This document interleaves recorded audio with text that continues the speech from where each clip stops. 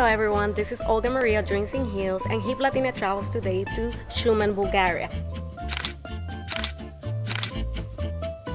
Shumen is only an hour away from Varna and in here you can check out the monuments of the Bulgarian state and it's pretty much like the representing the founders of the Bulgarian state of Shumen. The monument was built in 1981 to commemorate the 1300th anniversary of the first Bulgarian Empire. From there, you could see an amazing view of the city of Shumen.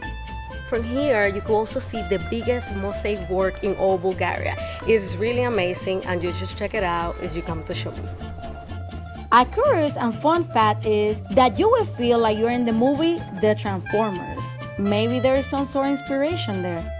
I hope that you have enjoyed this magical journey around the city of Shumen. Stay tuned for more. Follow us on social media and catch me on the net city, Salzburg, Austria. Hasta luego!